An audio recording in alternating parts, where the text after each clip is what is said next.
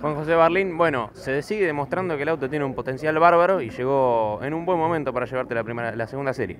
¿Qué tal? Buen día. Sí, la verdad que bárbaro. Potencial bárbaro, excelente el Chevrolet. Contentísimo con el equipo, con el Tonto Racing. Se llevó las dos series hasta ahora, así que eh, contento por el trabajo nuestro.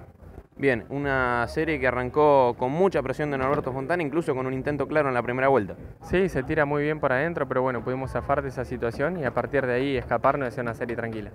¿Cómo venías con, con, respecto al ritmo del auto? Porque se notó muy parejo durante todas las vueltas, incluso por muy poquito no, no le ganas el tiempo a la primera serie de Matías.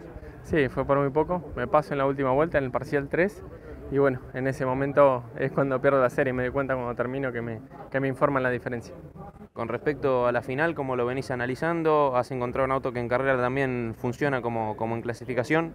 Sí, anda muy bien, eh, lo veo bien, tenemos que hacer un pequeño retoque para la final, pero estamos muy sólidos.